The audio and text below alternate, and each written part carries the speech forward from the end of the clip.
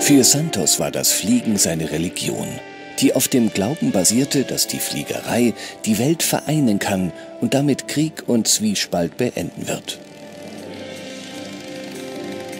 Traurigerweise endete sein schillerndes und hoffnungsvolles Leben mit einer Tragödie. Sein Name geriet fast in Vergessenheit.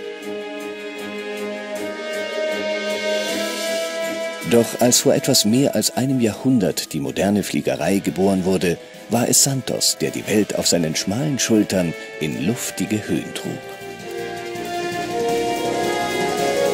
Alberto Santos Dumont, Vater der Luftfahrt.